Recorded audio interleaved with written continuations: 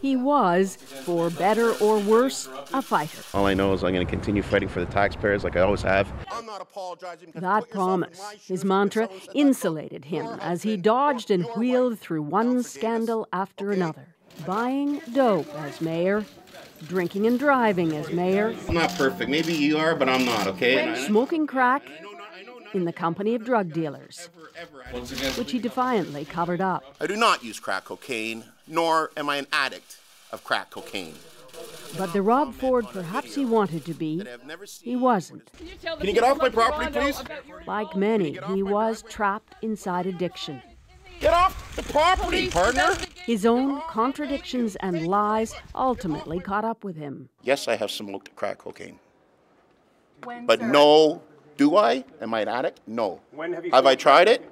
Um, probably in one of my drunken stupors, probably approximately about a year ago.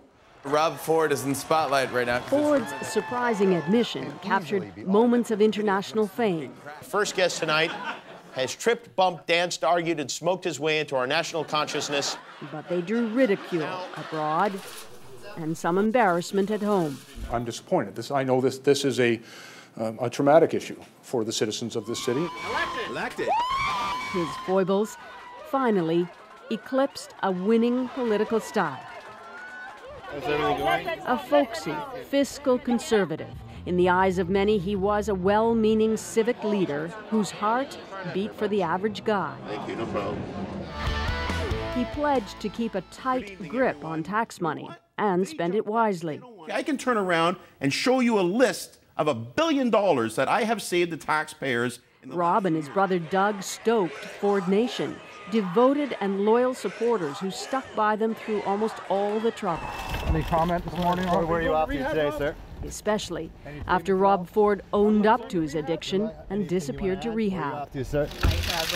leaving his brother to help hold up the brand. I love my brother. I'll, I'll continue to stand by my brother. But there was a fight even the Fords couldn't win. Rob Ford was diagnosed with cancer, a rare form, liposarcoma, already advanced. Rob, how you feeling? He dropped out of the mayoralty race in the fall to battle a bigger foe. a first cycle of chemotherapy left him sick and exhausted. So it's, uh, I'm not feeling very well right now. It's because of the. It's just. So I'd rather just go home. I'm, I might be pushing a little bit tonight, but Rob Ford was re-elected a Toronto councillor, but he never took his seat. They haven't, the tumor hasn't got smaller. In the end, Rob Ford's human frailties, baldly exposed, made him the everyman and helped explain some of his loyal support. Friends, I'm the first one to admit I am not perfect.